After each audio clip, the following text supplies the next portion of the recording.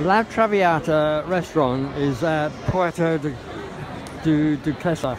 It is a fantastic Italian-based restaurant and we have actually eaten there and we're there again this evening. The food is delicious.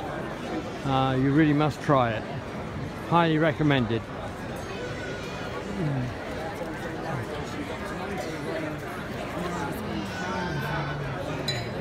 Twice. Thank you.